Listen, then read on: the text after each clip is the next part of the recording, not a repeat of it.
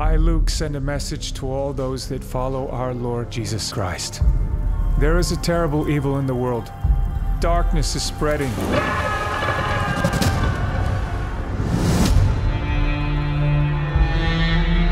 I know you are suffering persecution.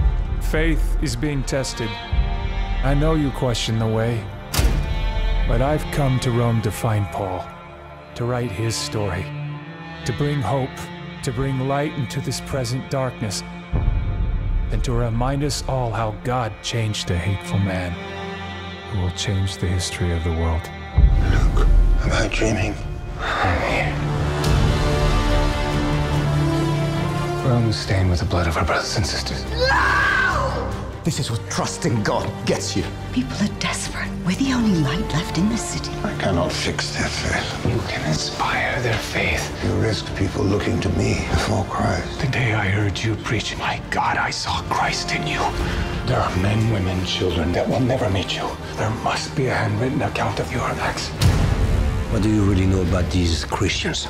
I am concerned with these documents. We've got to get these out of Rome. Do you think that we are plotting an escape?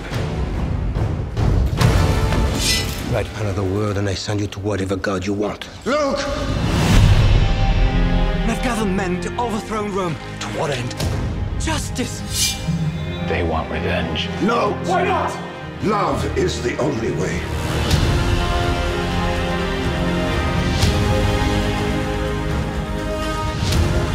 When the moment comes, you will have the strength to do what is right. Your people died today. This world doesn't know a thing about love.